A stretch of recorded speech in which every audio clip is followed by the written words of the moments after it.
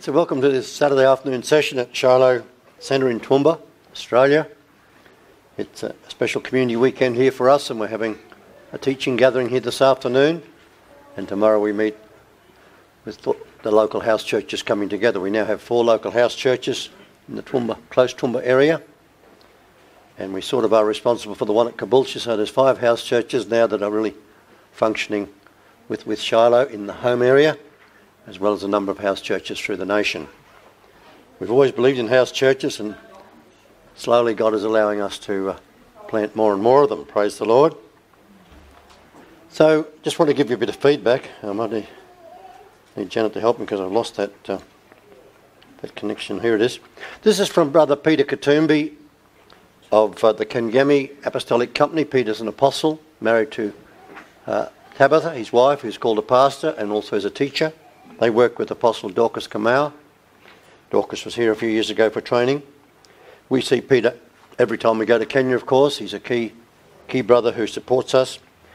And this is what he wrote last week when his wife was away with Dorcas on mission in Tanzania. Peter's home and his home, and he said, Shalom, Mum and Papa, I hope you're fine.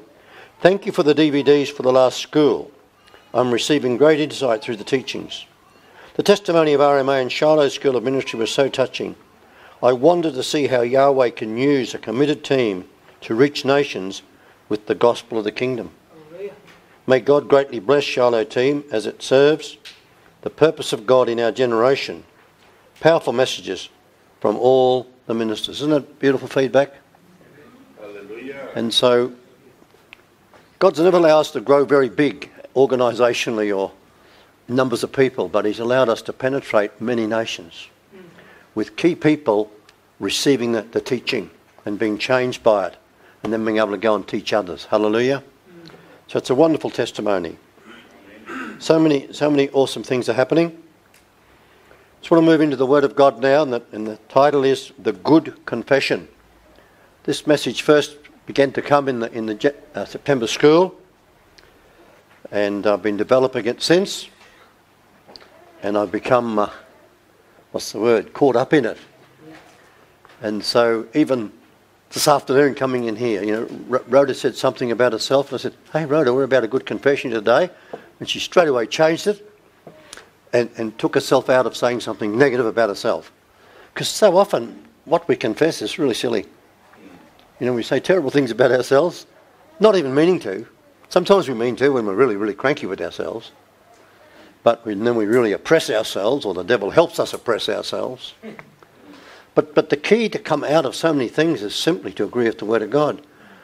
You, there's, a, there's a newer version of Amazing Grace that has those extra words. We, those of you at Lara's funeral, we sang it there. And, but we've got it on a CD at home. We're listening to it over and over again at the moment. All the songs, but this particular one says, The Lord the Lord has promised good to me. That's Yahweh. What an amazing statement. The Lord God Almighty of the whole universe has promised good to me. What about you? He's promised good to you as well. Isn't that amazing? That we can engage with the God of the universe, the creator of all things, and, and he says to us in the, wherever he says it, in the psalm, I think, the Lord has promised good to me. Is that it? Yeah. Ah, I've been blessed by that lately. The Lord has promised good to me, I say to Janet. You too. The Lord has promised good to us. Did you know that, Darlene? The Lord has promised good to you. Amen. Amen. So when you look in the mirror and you look a bit, you know, strange, say, hey, come on, girl, come on, man. The Lord, the Eternal One, has promised good to you. Amen. Amazing. And so we want to learn a few things this afternoon about developing a good confession. And how do we do that? The headings that'll come up in due course. The first one, Nick, is by pursuing righteousness. The second one is by fighting the good fight of faith. Leave that till we get to it. And the third one is in the sight of God. That sounds good, doesn't it? We're pursuing righteousness by fighting the good fight of faith in the sight of God. That will lead to us having a good confession. So let's t- open up in 1 Timothy chapter 6. This is our it's a passage here from 6 to uh, 11 to 16 that we're going to work through today at some level. So 1 Timothy chapter 6, verse 11, which says, But you, O man of God, if you're a female, just put yourself in there as well. There's no exclusivity because the man word appears there. Flee these things. So we have to look back in a moment and see what those things were we've got to flee. And pursue some things. We are to pursue righteousness, godliness, faith, patience, oh, love, sorry, love, patience, and gentleness. And of course, that's not an exhaustive list, but it's a pretty powerful one, isn't it? So, Paul had been instructing Timothy, and I'm just going to summarise the verse 3 to 10 for you, not read them. But I found that in that he's instructing Timothy to flee from error. So, what's Timothy to flee from? Error. error.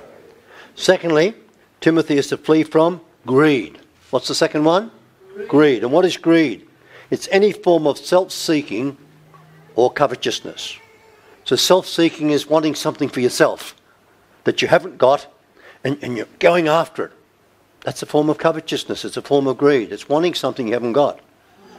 The commandment warns us, Thou shalt not covet thy neighbour's wife, thy neighbour's goods, anything that belongs to your neighbour. Don't think you should have it. Or just because so and so's got a new model car, don't think you should have it because it'll, it'll just slow you down, get you off focus. Because greed is any form of self seeking or covetousness. then Paul warns Timothy to, to flee from harmful lusts. Who knows that pursuing a lust always brings harm? Because once you become consumed with the lust, you, you, you lose your judgment. You no longer are governed by righteousness. You're just governed by that strong intensity of feeling that you want what you want and you want it now. And you'll do anything to get it. Not worrying about the consequences until next day or whatever. Okay. And finally, from the love of money. You know, the, the old version tended to say that, that the love of money is the root of all evil. If you look at it carefully, it says it's a root of all of evil. Money's not the root of all evil. What's the root of all evil? Satan and our sin. Yeah. So, but, but the love of money can easily become sinful. The love of money, rather than just using money as, as the medium it's meant to be, we can become consumed with, with wanting to have a certain amount or whatever it is. And then we, we were followed by a guy in his little open sports car coming down the street today it just, just spoke such a message. You know, he's got his nice sunglasses on, he's fairly cool looking, and he's got the roof back, and, you know, breezing down the main street of Toowoomba at 40 kilometres an hour is not very exciting in an open sports car, but he looked like he was enjoying it. yeah, he wanted everyone to see him. Main Street was very busy this afternoon. Okay, so just go through those quickly again. Paul has been instructing us to flee from error, from greed, from harmful lusts and the love of money.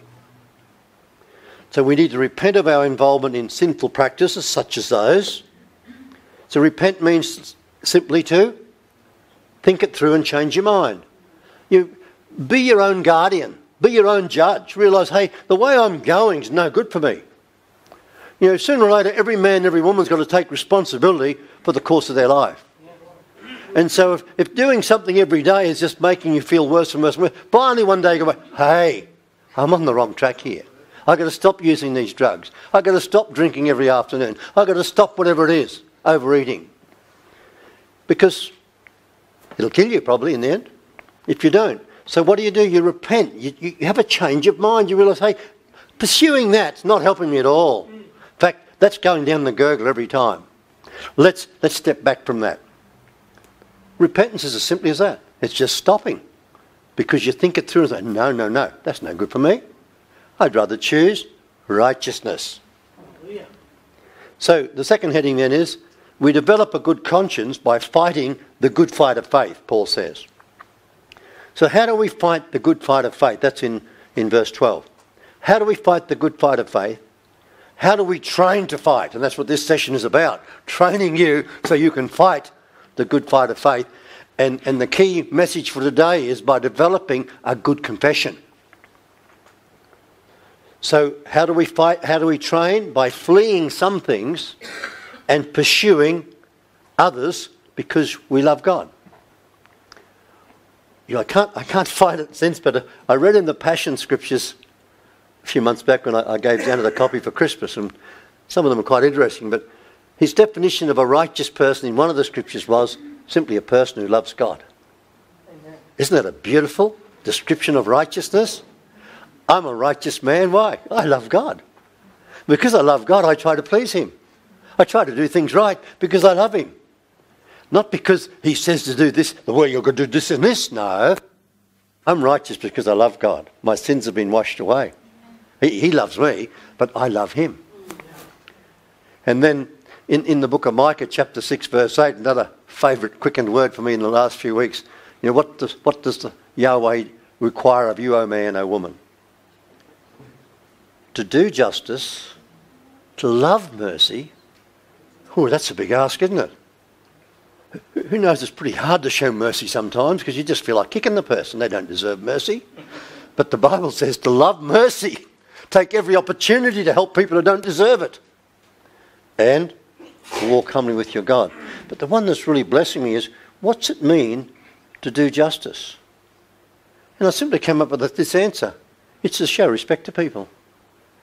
If you show respect to people, they'll be blessed. They'll, they'll, they'll be a little bit closer to fulfilling their God given destiny. Because every time we show respect to one another, we're, we're recognizing you're, you're a man or a woman called of God. You've got a mighty calling in your life, and I respect you for that. That's not what you say all the time, but just if you have that heart, then how you treat people is, is doing justice. And I just believe that the simple pendulum of justice is to show respect to anybody and everybody. Amen? Show respect to the street person, and they'll probably respond differently. Show, show respect to the, to the lady who's serving at the checkout. Who, who knows it'll change her day? Before you know it, she's smiling and telling you something. Or the lady who welcomes you to the coffee shop. If you just show her respect, she'll even make you more welcome than you already were.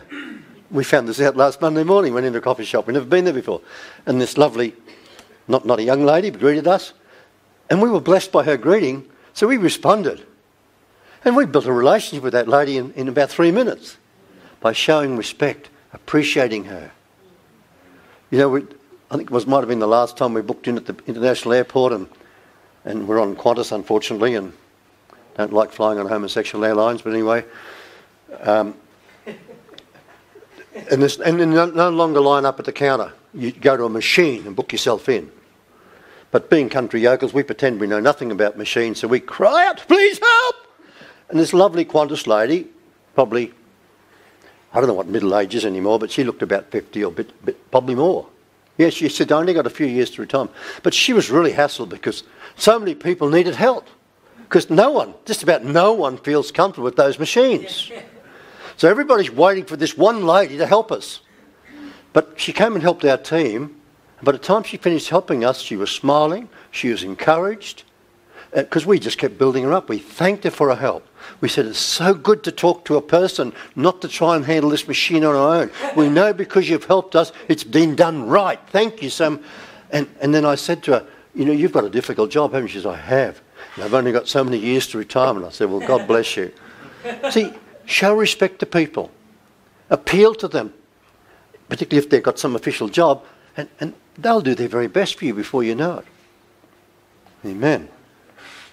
Amen. Know, when Simon was last out here with his wife, he, he, he, we took him to the airport, and, and that morning they got quite well dressed. And I said, "You guys are well dressed for travellers." He said, "We always travel when we always dress well when we travel. People treat us better." I thought, "Wait, that's." I mean, I dress reasonably well when I travel. I haven't worn a tie yet. I'm thinking about it, but but it's true. If people turn up well dressed, they'll treat you better. So Simo had found a key. So, anyway, get back on track, Paul. So, how do we fight the good fight of faith? By fleeing from those things. We gave some examples of that. And pursuing other things. So, what are some of the things we should pursue? Righteousness, godliness, faith, love, patience, and gentleness. That's a pretty tall order, isn't it? You know, to try and review your life every day. How have I been pursuing righteousness today? Have I been pursuing godliness today? What does it even mean to pursue godliness? Faith, love, patience, gentleness. So this, this is how we train ourselves to get a good confession. Because every little breakthrough you get, you, you'll want to talk to someone about it. Amen? You'll want to tell someone. Guess what's happened? God has helped me today. And so, what's the purpose of this? It's to lay hold on eternal life, Paul says in verse 11. Verse 12, that should be. To lay hold on eternal life. Always keep your focus on the goal, which is, oh, just getting my family fixed up or just doing. No, the goal is eternal life. The goal is living forever with God in a wondrous, in the wondrous plan of God that will be unfolding forever. How amazing is God's promise to us. So don't, don't let your focus get off eternal life. Whatever's going down that's, that's hurting you, that's troubling you, that's, that's confronting you, always keep your focus on eternal life. It's well worth it, brethren, to pursue righteousness, godliness, faith, love, patience, and gentleness in the context of staying in eternal life. So Jude says to us in verse 20 and 21, I'll just quote part of it, that we are to be looking for the mercy of our Lord Jesus Christ unto eternal life. Keep eternal life in focus. No matter how much even church people let you down, ministers let you down, even hurt your life seriously, don't get off on that. It'll only hurt you now, more now. Come back to your focus on eternal life. Thank God for eternal life. We need to experience eternal life every day. Is this our mate? Hey, welcome, brother. See, I, I, tried to prophesy to some of you they were coming, and none of you believed me, and I didn't believe myself anymore. Good on you, Rob. Amen. When did you confess Christ? Sooner or later, you have to go public. Sooner or later, you have to tell other people, hey, I'm confessing Christ now. Um, some of you have seen a movie called, um, what's about potatoes? What's it called? Faith like potatoes. Like potatoes. And, and when the hero in the story, it's a real story, Angus Buchan, when he, when he was first confessing Christ, he, he met, he came out of sort of giving his life to Jesus in the, in the pastor's house or something, wasn't it? And then he's walking down the street and, he, and he's seeing these people he knows and he's trying to hide from them because he's just had this amazing experience. But the last thing in the world he wants to do is have to tell his drinking mates that I've just had this amazing experience and I'm changed. Eh? hey? Because it's a bit like that sometimes, isn't it? The most precious thing you've got, but you're still not ready to tell somebody. but sooner or later, we have to tell somebody. And in fact, the more we do that, the stronger our confession becomes. We need to be confessing what we know about Jesus. Well, I'd even like to change that what we know of Jesus. It's one thing to know about Jesus, but what do you know of Jesus, of the man? of the real person. What do you know of him? And this becomes, because this confession of who Jesus is, is the vital part of the good fight of faith. You know, we, we can get off on a spiritual trip without keeping Jesus central. Sometimes I hear Christians, other ministers, you know, talking about what the big program they're doing, the big plan they're doing, and I'm listening. Are they going to say the name of Jesus? I'm listening. Are they going to talk about Jesus Christ? I'm listening. And I get often get disappointed. And I think, Lord, did you speak to those people to do that? Because they're not talking about you in it. They're not giving you any glory. They're talking about their program.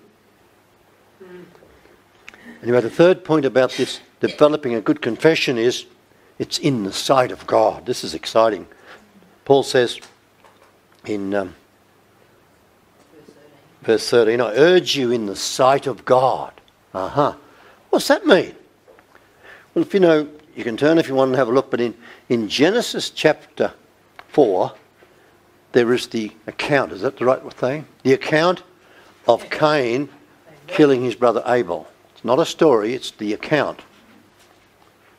And do you know, if you look at it carefully, Cain and Abel and their family lived in the sight of God. And Cain killed his brother in the presence of Yahweh. And then, if you read it carefully, God turned up and judged Cain. And then, verse 16 of Genesis chapter 4 says, And Cain went out from the presence of Yahweh. So, the first family, even though they were put out of the garden, they were not put out of the presence of God. God was with them mm. and manifested in that, that sanctuary that was placed there in, Gen- in Genesis 3, verse 24, and the flaming sword. And the, and the family still came and worshipped God and brought their lamb sacrifice if they were wise and obedient. But Cain brought the work of his hands to offer to God. But anyway, not worrying about that story. The fact is that Cain even murdered his brother in the presence of God. Amen. Being in the presence of God does not stop you from doing stupid things. But, yeah. but on the other hand, being in the presence of God helps you to stop doing stupid things. Didn't stop Cain, but it was meant to. God even warned Cain. Spoke to him personally. Cain, you need to change, man. You, you, you're going, you're hell bent to hell the way you're behaving.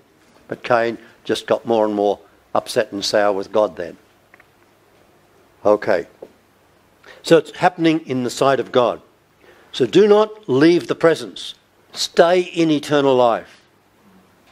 God is there all the time. Who knows the last two words of, of the book of Ezekiel? And the name of the city shall be called Jehovah or Yahweh Shammah. What's that mean? That the eternal God is present there. So Jehovah Shammah or Yahweh Shammah means the Lord God Almighty is with us. He's there. He's there at Shiloh when we gather. It's not that he's sitting around Shiloh waiting for us to gather, but when we gather, he's here. Amen. God doesn't sit around in buildings. He, he's in people. Yes. And when we come together, we become that corporate Amen. dwelling place of God in the Spirit. So we live in the sight of Jesus. Amen. Hallelujah, Jesus. If you can't lift your hand up and give Jesus a wave in whatever you're doing, then maybe you need to change what you're doing. Make sure what you're doing is in the sight of Jesus. Okay, major point number two then is the good confession of Messiah Jesus. In 1 Timothy 6.13, Paul... Where are you? You already said number three before. Right, in the sight of God. Yeah, that's the third point under number one.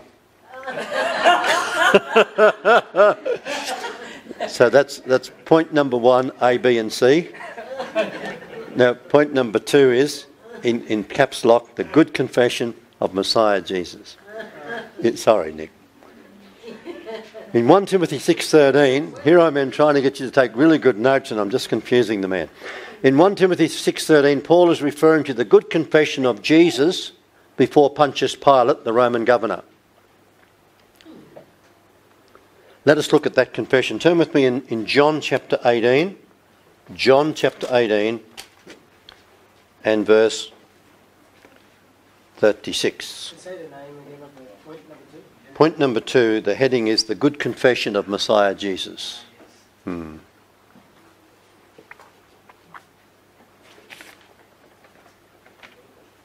And I don't really have any subpoints.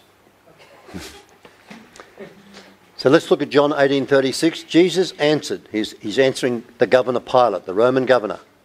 My kingdom is not of this world.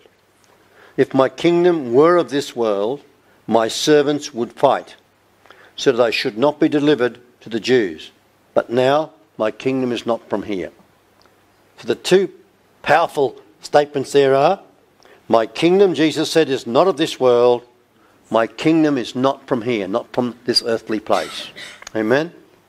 Paul says that's the good confession. But it didn't stop there. Verse 37 Pilate therefore said to Jesus, Are you a king then? Jesus answered, You say that I'm a king. For this cause I was born, and for this cause I've come into the world, that I should bear witness to the truth. Everyone is of the truth hears my voice. Jesus would not deny the truth no matter what the consequences were.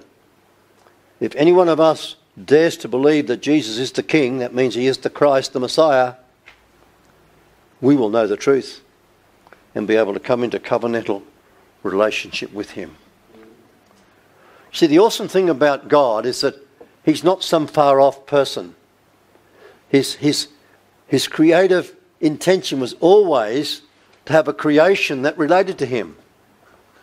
That, that all that God is will be poured out into his creation and there would be that response to him. Even in the New Testament, it's talked about the response of a glorious bride church, that, that the response he would find in the world would be that of a, of a bride responding to a husband. That, that, that, that, that which God had created would finally bring forth a people who would totally want to respond to God. And so, the good confession of Jesus was that he was able to stand before the judgment seat of Pilate and speak the truth. Humbly, firmly, no doubt. You and I, if we've come to know Jesus, we have that same privilege. We can humbly confess the truth. Doesn't matter how we feel, it's the truth. The truth not based on feelings, it's not based on thoughts. The truth is the truth. And Jesus said, I am the truth. So the truth is actually a person. So when we come to confess the truth, which is Jesus, our lives change. And when we confess that I believe in Jesus, I believe that Jesus loves me, that he took away my sins, and I have asked Jesus to come into my life, and he has, I'm in covenant relationship with him. But most of us, in the beginnings of our Christian life, were not expl- was not explained to us what covenantal relationship means and how easily but how powerfully we all come into that covenant relationship just by saying yes to Jesus. And in one sense, when we're baptized, that seals the deal. Yep. It's like the baptism, in a sense, is the marriage ceremony. The lost soul is now saved, their sins are washed away, they're believing in Jesus, so they come to the waters, and that's like the marriage, in a sense. That, that you totally yield, die, and rise in Jesus. Amen. It's powerful. Hallelujah. Get no, we won't focus on that.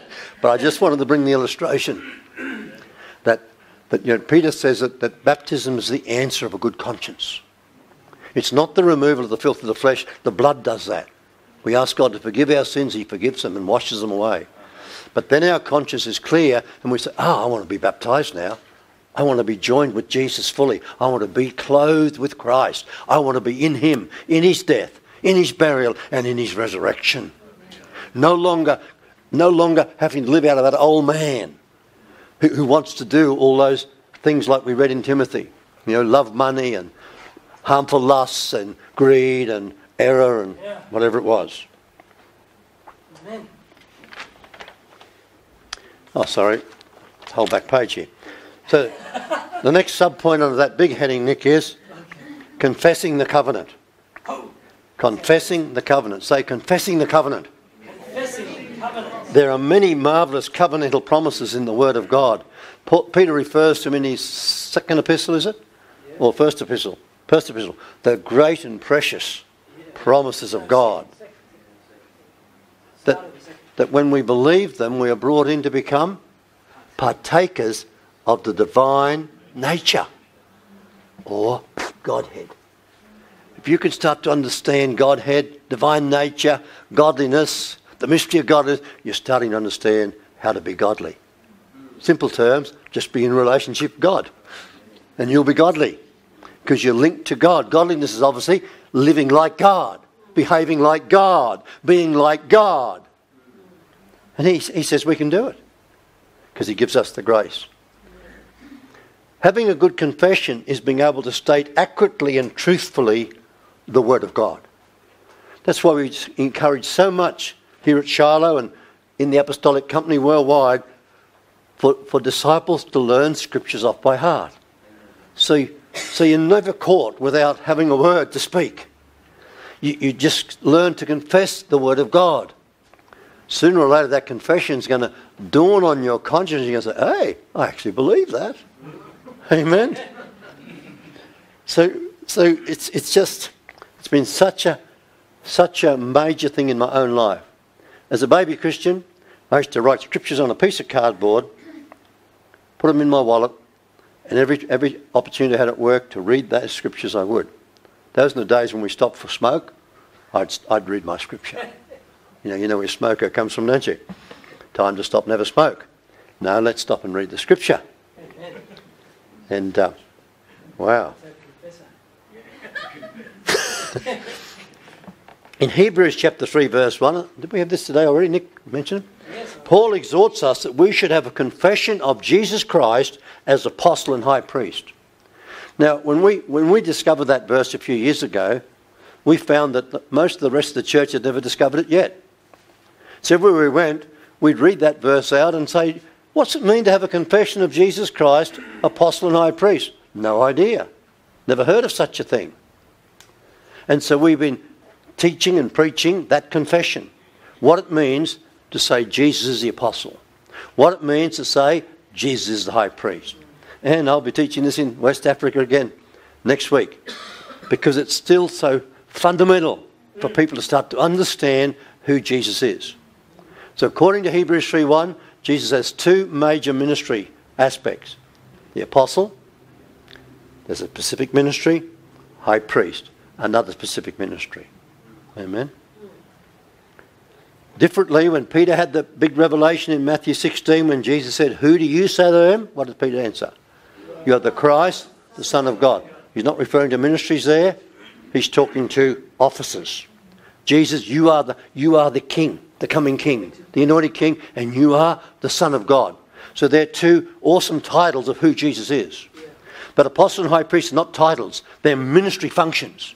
Jesus is, is, has, has fulfilled his ministry as the apostle by coming to the earth, and Jesus fulfilled his ministry as the high priest by dying on the cross for our sins. This word confession has the connotation, and this is a big, big statement that Nick found somewhere, and I, I've read it before as well. It's a binding public declaration by which a legal relation is contractually established. You know, it's legal language, so forget about it, it's very hard to understand. But it's telling us that this word confession is powerful. It, when you confess the word of God, it has a legal aspect to it. When you say, I am saved through faith in Jesus Christ, you've made a covenantal statement and the devil can't touch you. I am saved by the blood of the Lamb. I overcome the, the accuser of the brethren by the blood of the Lamb and by the word of my testimony, and I love not my life to the death. Oh, you start to say that a few times, you'll change. You'll become bold. You're not even afraid to die. It has the sense of bringing us into covenant with God as we confess Jesus Christ and His Word. This word literally means to speak the same word. So, speak the Scripture. Do you know, back in the days of King Henry VIII, it was illegal to have an English Scripture in your house. It was illegal to teach your children the Lord's Prayer in English. Men were, were arrested and taken away from their families, tortured sometimes even put to death for having English scriptures in their home and teaching them to their children. So we've come a long way in, what is it, about 700 years or something since he was around? Or 600. When did he live? 14th century? 15. 15th century, 1400s, wasn't it? No? No. 1500s, you're right. Same, same time as the Reformation. It's part of the Reformation, yep, you're right. Okay, so that's what? 400 years ago. 500, yeah, 500. Lutheran mission is 500 years old. Okay. So the next little heading, Nick, is confession is powerful. Let, us turn, in case you don't know it off by heart, to Romans chapter 10, verse 9. You know, Paul says that our confession is so powerful. He said this, he said this, Richard, he said, if, if you confess with your mouth the Lord Jesus and believe in your heart that God has raised him from the dead, you will be saved. What an amazing confession. Paul says it's simple as that. I confess that Jesus Christ is Lord, and I believe that God has raised Jesus Christ from the dead, I am Saved. saved. I've come out of darkness into the kingdom of God, come out of darkness into light. I'm a saved man. I've now got a future and a hope for eternity. Wow. Amen. The covenantal confession saves us. This covenantal confession saves us and brings us into a righteous relationship with the King of Kings. Hallelujah. If you're of the truth, you can confess that Jesus is the King. That is, He's the Messiah. You know, most people who say, I believe in Jesus Christ, they're not actually confessing the truth because they don't even know what Christ means. They just think it's part of His name. They have no understanding of what it means to say Jesus Christ. We should slow down and always say something like Jesus the Christ, or even change it to Jesus the Messiah, to make ourselves and others we are speaking with to stop and think, what are you talking about? What do you mean Messiah? What do you mean Christ? Jesus Christ? It's, you're saying it's, it's not just Jesus Christ. Yeah, sure am. It's Jesus the Christ. There's a huge understanding of who Jesus is. He's the Son of God who died on the cross for us. There's another huge understanding of who Christ is. He's the anointed Son of David who is expected to come to be king and rule and reign forever. And Jesus, who is the Son of God, is also the Christ who has all that authority, yes. So if you're of the truth, you can confess that Jesus is the King, the Messiah. Nick, next major heading. We are called to keep the commandment. We are called to keep the commandment. In one, back, to, back to 1 Timothy 6.12, the first little heading under that, Nick, is called the calling. Back to 1 Timothy, back to our, our text passage, verse 12.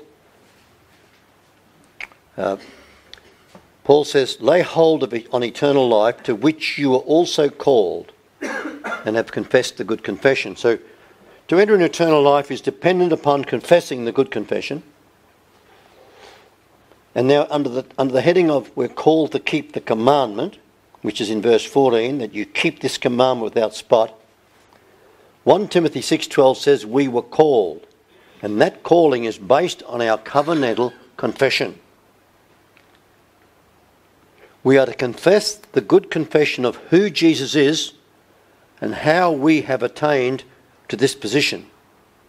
And Paul says, it's in back in verse 12, it's in the presence of many witnesses.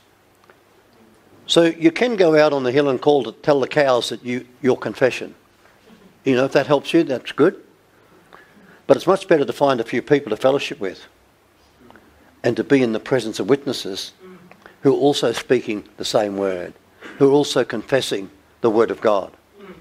And so the great strength of being in a church fellowship is that you have you have brothers and sisters, you have fellow witnesses who are speaking the same word as you. So it's enormously encouraging. Amen.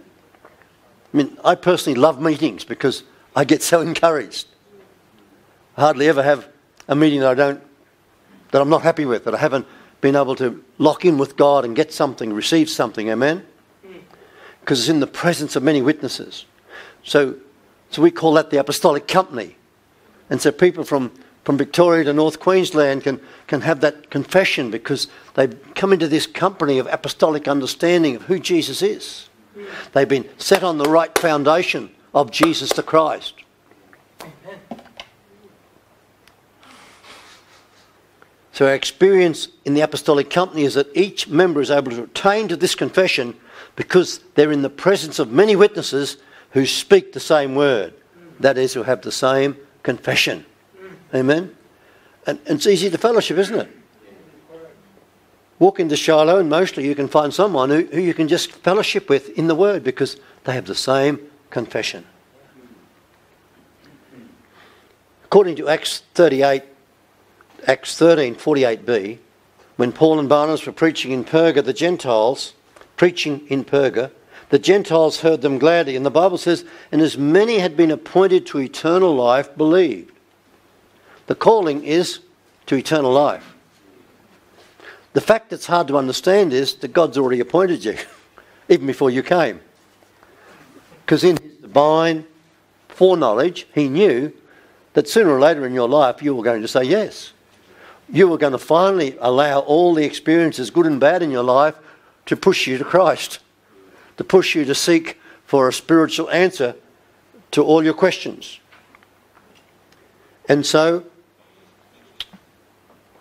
as many as have been appointed, I was appointed to eternal life. How about you? Can you say, I, I've been appointed to eternal life? I didn't get to know Jesus till I was 22 years of age, but, but I, am according to the Bible, I'm, I was appointed to eternal life. And not only that, you go to Ephesians chapter 1, and, and Paul says there that God chose us in Christ when? For the foundation of the world. Why? That we should be holy and without blame in Him. In love, He predestined us to the adoption as His sons by Jesus Christ unto himself to the praise of the glory, according to the good pleasure of his will. Hey, I am saved. I'm, I'm growing up in sonship to God because it pleases God. It's, it's actually the good pleasure of his will. I mean, what a wonderful Father we have. He's watching over all his created beings, waiting for each one of them to respond because he's known from eternity that sooner or later they will. Amen? Praise God. Hallelujah.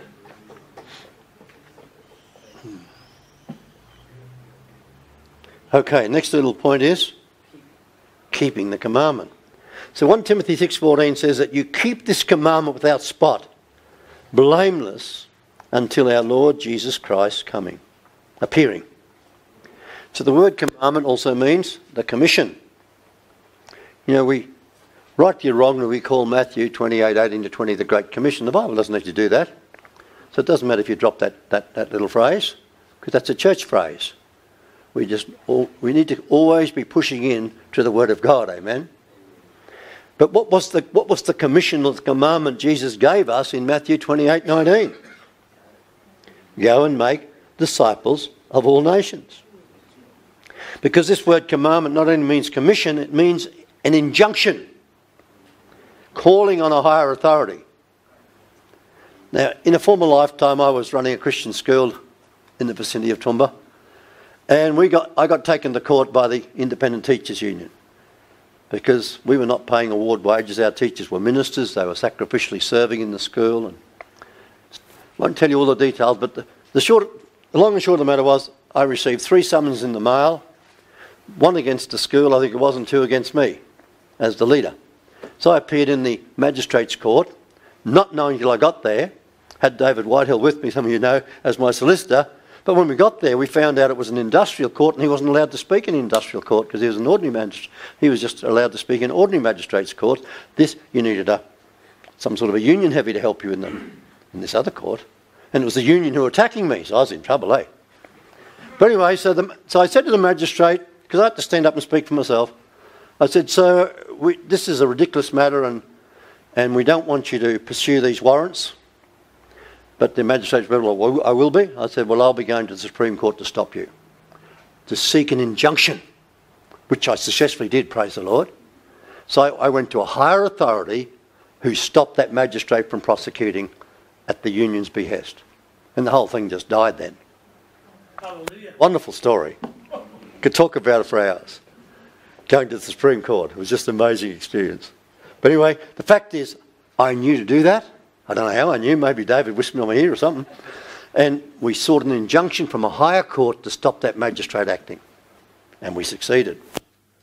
And the union went home with their tail between their legs. Mm. Where were we? It also means an authoritative prescription. This is pretty powerful, isn't it? What is the basic commandment or commission that we should keep in preparation for the Lord's coming? It's more than the immediate context. The immediate context is flee those things, pursue those things, fight the good fight of faith, and you'll be right for the Lord's appearing. Yes, you will. But what's the greater, what's the greater injunction? What's the greater commandment that we all should be working in?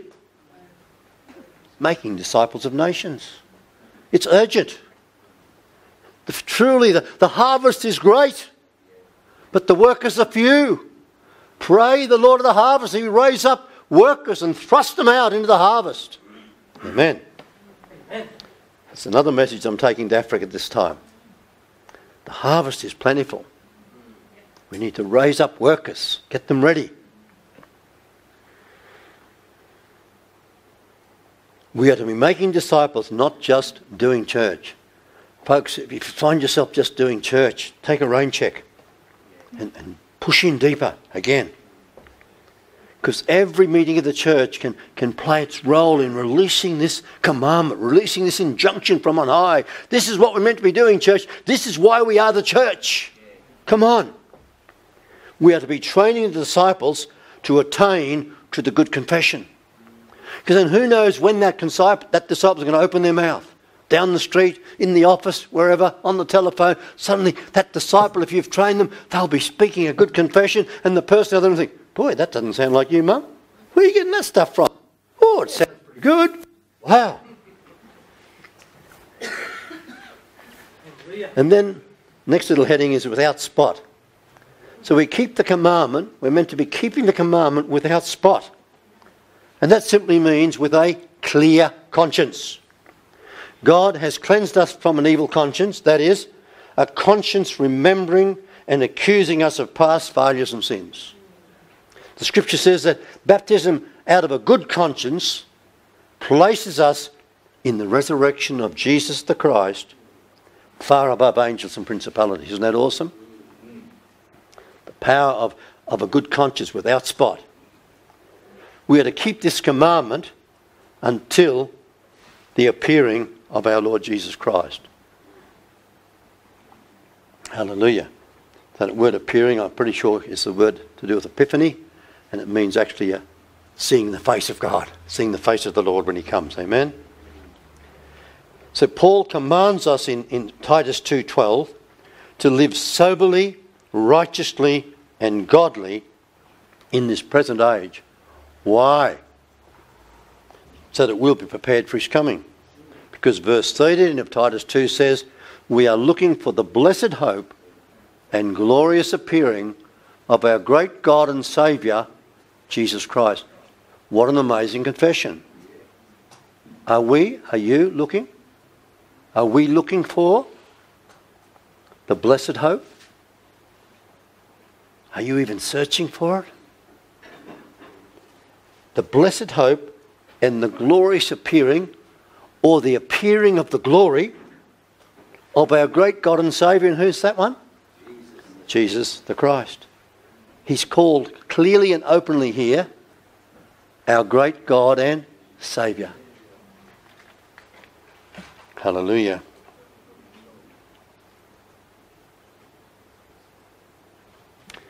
I've just got a reference here. Let me see if it's worthwhile.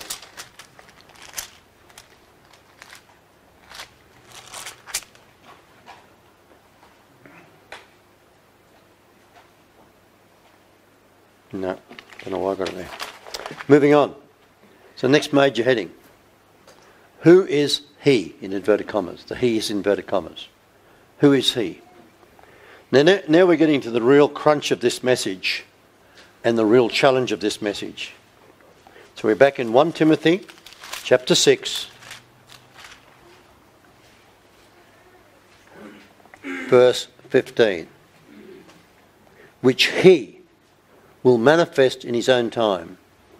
He, well, this, this bit's added, it's in italics. He who is the blessed and only potentate, the King of kings, and the Lord of lords, who alone has immortality, dwelling in unapproachable light, whom no man has seen or can see, to whom be honour and everlasting power.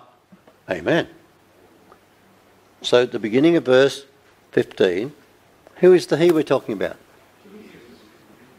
How do you know? You're all so sure of yourselves. How come you answered so quickly? Hey? Yes. Come on, explain yourselves a bit better. How, who, who said yes and why did you say yes? Because nobody's seen God at any time, but the only begotten Son, Christ, he has declared him so. Yes. Wonderful. Okay, because I can't get you on video, I won't, I won't drill you anymore. But you know, does, does, well, let's just work through it word by word. Who is he? 1 Timothy 6:15 says that he will manifest in his own time. Now this is pretty obvious, but listen to me. Verse 15 comes after the previous verse, is that right? Previous verses. Where in verse 13 God is referred to. So it could be talking about God. But also in verse 13, Christ Jesus referred to. But then in verse 14, it ends with the Lord Jesus Christ. So the last, the last words of verse 14 are until our Lord Jesus Christ's appearing, which. So what, what's the which? The appearing. Which he, who's the he? So just grammatically, am I correct for the educated ones among us, the teachers? Is that, is, are we deriving this correctly and according to English grammar in the sentence? That, that the which is to the appearing and the he is to the Lord Jesus Christ just mentioned. Okay, so we're on reasonable grounds? Because this, this is explosive. What we're about to look at and affirm, and some of you seem to be ahead of me already, it's explosive. Because if you really believe and can prove that these, these two verses are talking about Jesus, you're, you're putting yourself in a position that very few people would put themselves in. It's a very, very dangerous position. Because, yeah, you could be accused of blasphemy, heresy. So you need to be sure of yourself. And, and I've got to confess that I've never, I wasn't clear about this until I heard Apostle Rob there talking about this a while back and referring to this verse a fair bit, weren't you, Rob? For a season, I thought, Rob, Rob's on to something I don't know about here, or else he's deceived. and it just started to really challenge me because I'd never really studied these two verses and asking the simple question who is he? So most have assumed that the he is referring to God. But in the context, it would appear to be referring to the Lord Jesus Christ. If that's the case, Paul goes on to say amazing things about the Lord Jesus Christ that are normally only ever referring to God. Wow. He is referring to God, but in the context would appear he's referring to the Lord Jesus Christ. The scripture says, well, who is the one who will manifest in his own time? It's obviously Jesus, amen? But when Jesus was on earth, he said that the Father was the only one who knew the time of his coming. But now, Paul says, the Lord Jesus will manifest his appearing in his own time. So, where did Jesus go to after he left the earth? He told us in John 7 I'm going back to my Father. I'm going back into the glory with my Father, which I had with him before the world was created. And so, there's something amazing happened when Jesus went to the Father in that he was fully, in a sense, assumed, consumed, became part of, returned to God. In a sense, Christ is hidden in God. Hey? Yes, it works the other way as well. Because what does Colossians say? For you have died, and your life is hidden with Christ in God. And when Christ our life appears, you will appear with him in glory. So where's Christ? Hidden in God. Amen? And we are hidden with him in God. Hallelujah.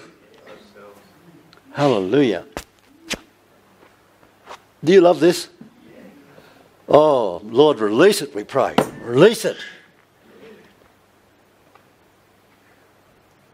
So if you want that reference, it's Matthew 24 36, where Jesus said, he didn't even know the time, only the Father knew it. But now, Paul says, he knew, he knew the time. And then Paul says that he is he which he'll manifest in his own time, literally, the blessed and only potentate. That he who is is all in italics. But put it in or put it out, it still means the same thing. That this one who's going to manifest in his own time is the blessed and only potentate. Let's look at that. That's the heading. The blessed and only potentate. The he we are referring to which we have said is the Lord Jesus Christ, is now called the blessed and only potentate. Debbie had a bit of a go at that word in her teaching earlier, and I'm glad she did because I don't have to go to those references. But, um, and we'll come to that word potentate in a minute. We're looking first of all at the blessed. So he's the blessed and only potentate. In Romans 9:5, you want, if you want to check it, turn there. Christ is referred to as being, quote, overall and the eternally blessed God. Note the significance of this that Christ is referred to as the eternally blessed God. Now that's just shocking, isn't it? Paul says that Christ is the eternally blessed God. We read, we, we read a, we talked a little bit a while ago about Titus 2:13 that we are looking for hope. the blessed hope and the glorious appearing of our great God and Saviour, Jesus Christ. Now, in another book of the New Testament, Paul's writing, it says, Christ, the eternally blessed God. Hmm. So, so brethren, what are we on about? We're on about restoring divinity to Christ. Oh, how we've erred in the centuries.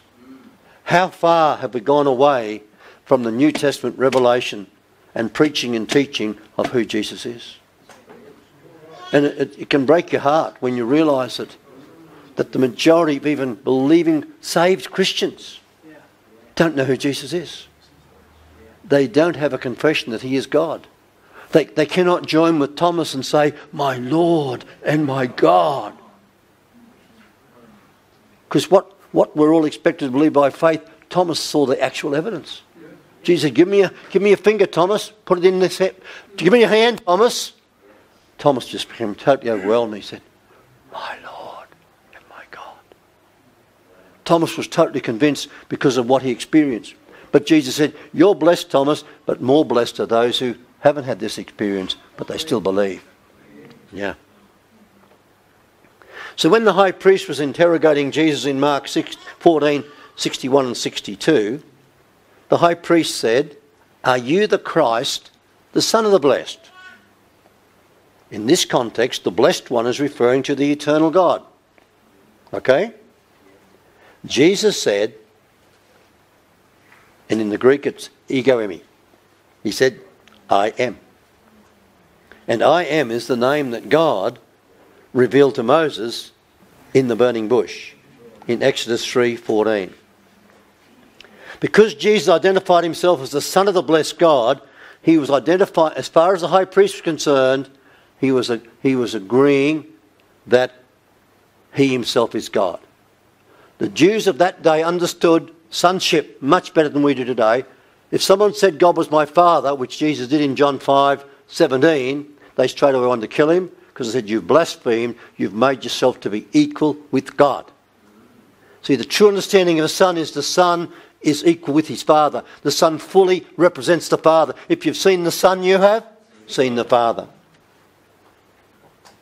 So Jesus was identifying himself as God, and in so doing, spoke the name of God. He said, I am. He didn't just say, I am the Son of the Blessed. No, he said the Hebrew word, I am. The word that Moses heard on the holy mountain.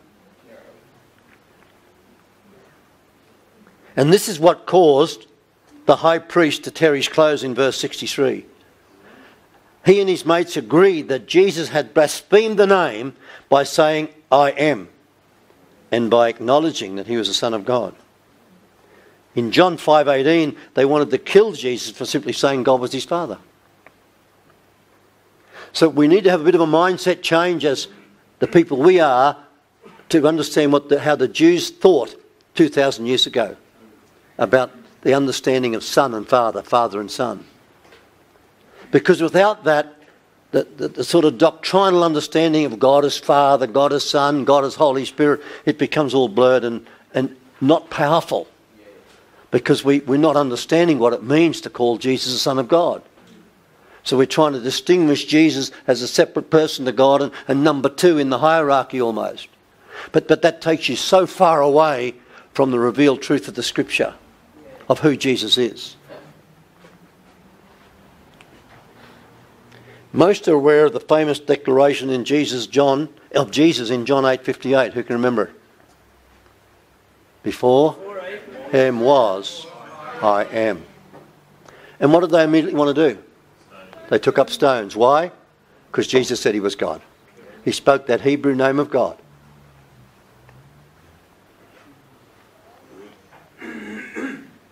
Many have a very limited view of who Jesus is. The Jesus that was preached in the 20th century is generally only referred to as a Saviour, and that is a wonderful saving revelation. Who got saved in the 20th century? Aye. But in these days, as God is raising again the ministries of Ephesians 4:11, what's one of the main purposes he gives those ministries? To bring the whole church to the knowledge of the Son of God. Amen. And we thank God here at Shiloh that over the last, well, 14 years now, God has been unfolding who Jesus is. He's the Christ, He's the Son of God, and many other wonderful revelations. So now look at this word potentate. The next little heading is subheading is potentate. What an amazing word even. This word is a very powerful word, referring, referring to a very powerful person who has no one to compare with him. In this verse, there's only one potentate. There's only one sovereign ruler who has unlimited authority. And he's, he's the only potentate. When Peter was testifying of Jesus in Acts chapter 2, verse 36, part of the Pentecostal Day sermon, he, he declared in verse 36 that God has made this Jesus whom you crucified both Lord and Christ.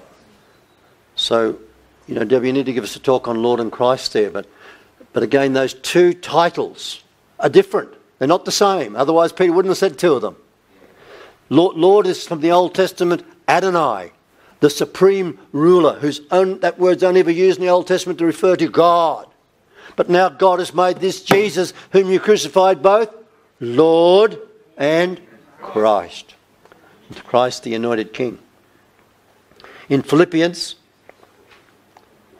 Paul says, because Jesus was willing to humble himself and come down from heaven in the form of a man and die on a cross, verse 9 says, therefore, God also has highly exalted him and given him the name which is above every name. Amen. There's no principality or power even able to stand against you. Because the name of Jesus is, is totally, what's the word? Full of authority. All authority. And his name is above every name. Amen. Authoritative. So then the next little heading is, we're getting there, folks, King of Kings. Wow. Oh, and Lord of Lords. Come on. In Revelation 19 11 to 16, there is an amazing revelation of Christ Jesus sitting on a white horse. Who loves that picture? In verse 11, the rider on the horse is called Faithful and True. In verse 12, the scripture says he has a name written that no one knew except himself. And then in verse 13, his name is called the Word of God. And then in verse 16, the scripture says, On his robe and on his thigh a name written, King of Kings and Lord of Lords. Any real kingdom only has one king. So this one is the King of Kings and the Lord of Lords. The white rider on the white horse is called King of Kings and Lord of Lords. This is a clear reference to Jesus the Christ. I don't think anybody would question that.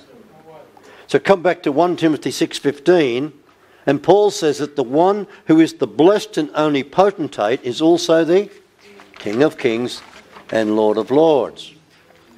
So in all of our discussion, we're seeking to present Jesus the Christ to you to bring you to a fresh understanding of that which is written by comparing Scripture with Scripture and letting the Scripture answer our questions. Because that takes away all our doubt. We're not trying to convince you of anything that is not clearly in the Scripture. But if it's clearly in front of you in the Scripture, you need to give it due attention, amen? And that might mean letting go of some of your preconceived ideas about who Jesus is, about who God is. Any one of us can read the scriptures many times and miss what is finally the simple message in the scriptures.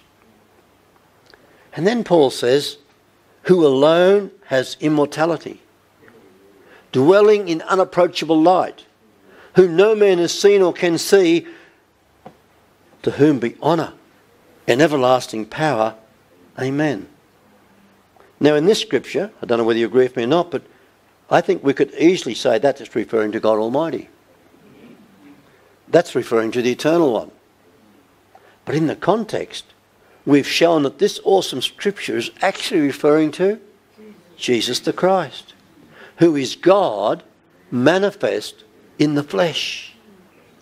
While Jesus limited himself to a human body when he was on the earth for the predetermined purpose of God, when he returned to the Father, he returned to the glory he had with the Father before the world was. Final heading, Nick. Or maybe six. See how we go. Depends whether they shut me down or not. God is one.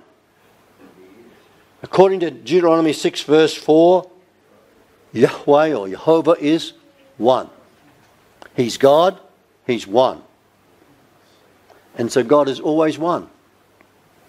You can't start saying that that verse doesn't say what it says. It says what it says. It's one of the most important scriptures in the Old Testament. Jesus Christ is God. Before he came to the earth, Philippians 2 6 says that he was in the form of God. Paul says he, Jesus did not consider it robbery to be equal with God because he was God. In John 5 17 and 18, Jesus called his Father, called God his Father, and according to the Jews was making himself equal with God. They wanted to kill him. In John 10:30, Jesus said, "I and Father are one." In John 14:7, Jesus said, "If you had known me, speaking to one of the disciples specifically, you would have known my Father also." What? Jesus saying, "If you had known me, this 33-year-old man about to die says to one of his disciples, If you'd known me, you would have known my Father also. What's wrong with you? And from now on, you, from now on, you know him and have seen him. Well, who did they know and who were they seeing? They were seeing Jesus. It's not complex, it's very simple. And in verse 9, Jesus said, He who has seen me has seen the Father. And in verse 10, you know, he's really laying it on here, line after line. He says, do, not, do you not believe that I'm in the Father and the Father in me? This is the oneness of God that's taught in the Scriptures. The Father's in me, I'm in the Father. You can't differentiate, you can't divide. Indivisible. And finally, in verse 11, Jesus said, Believe me that I'm in the Father and the Father in me. So, why do we need, finally, why do we need a good confession? Why are we talking about all these things from 1 Timothy 6? So that you may have a good confession, just as Jesus had a good confession before Pontius Pilate. When Jesus was facing the end, when Jesus knew that a lot of torture was yet to come before he'd be crucified, but would he change his confession? No. And he wants each one of us to be in such a position in Christ that we would also be able to face torture, face death and not change our confession, but tell our persecutors the truth. Who was it was telling me recently that about this guy who was caught in some nation that was illegal to be a Christian. He's a young American fellow, and he was thrown into prison. He's apprehended as he's leaving at the airport. Someone else has heard this story remind me because I don't know where I heard it. And, and every day they were torturing him and beating him. But not, and, and, and, he started to lose his faith. And he said, God, why are you allowing this? And anyway, God, God just said, I'm with you, son, and I want you to forgive those who are hurting you. So the next day, the fifth day, or whatever it was, he's called into the office of the, the guy who's overseeing the torture, and he says, Sir, I just want you to know I've already forgiven you. And he put out his hand. And the officer backed away. And, and, and the guy kept saying, yes, you know, God's appeared to me and told me to forgive you. And eventually that officer came forward and shook hands. Yeah. And within two days later, he's on a plane back to America. So he got the victory. God appeared to him, said, forgive, forgive these people who are persecuting you. So he went for the head man, who wasn't actually doing it literally, but was commanding it, offered him forgiveness. You know, that's your story, Alberto, about forgiveness. How awesome. So a good confession is, firstly, repenting from evil works and practices and pursuing righteousness and all the good things of God. Secondly, a good confession is having come to that place of covenantal confession. That is, agreeing with and speaking forth the word of God as it is written. We need to know by revelation who Jesus is and speak forth that revelation and knowledge in a good confession. A good confession changes everything. A good confession such as 1 Timothy 3:16 reveals who Jesus is. A good confession can save us as Peter, as Paul teaches us in Romans. We looked at that. A good confession is a vital part of fighting the good fight of faith. Amen. Praise the Lord.